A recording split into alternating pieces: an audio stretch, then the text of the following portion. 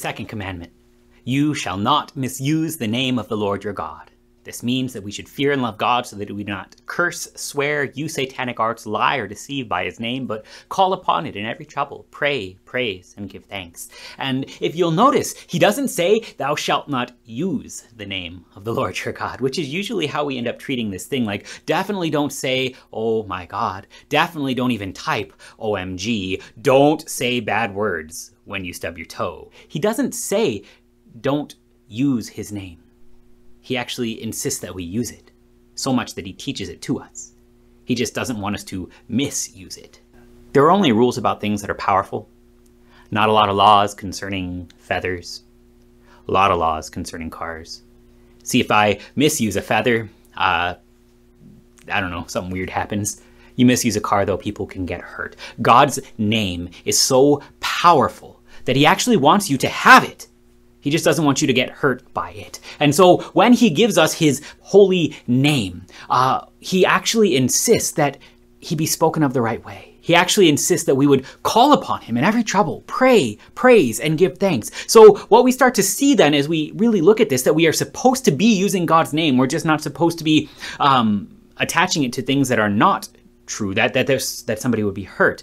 One of the chief ways that we break the second commandment is through false doctrine, a false teaching about who God is. We say things about God that are not true. And then, uh, God forbid, people believe them. Like, what if God only helped those who helped themselves? Or what if God only loved you if you were a good person? Or what if God actually did hate the people that, that I hate? There, all of a sudden, we start to come up with a real problem that if God would damn the things that I want damned, that's that's a scary thought because what if other people want want me condemned? What if my own sins would condemn me? What if God actually only were to judge me by his law and not by his gospel? Here I need a proper use of God's name. I need help from God. And so I pray to him, Lord Jesus, have mercy on me, a sinner. And the glorious part is he teaches me his name. He teaches me about who he is so that I can turn to him for mercy. I look to God and his holy name because here he reveals himself to me that I would actually know truths about him. He insists that his name not be abused, not be spoken about falsely, not be attached to things that cannot help or save so that people would not trust the things that cannot help or save, but rather,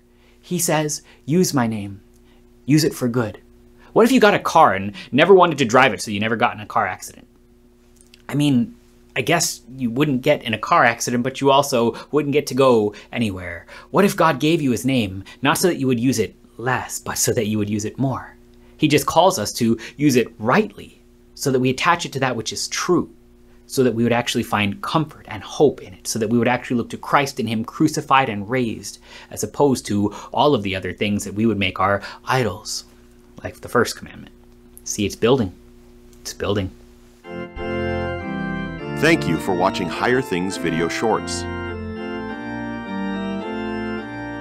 If you're looking for an easy way to support Higher Things, remember to like, share, and subscribe. And hit that bell icon for content notifications. You can follow Higher Things on social media and on our website, higherthings.org. If you love what we're doing, we ask that you remember us in your prayers and donations.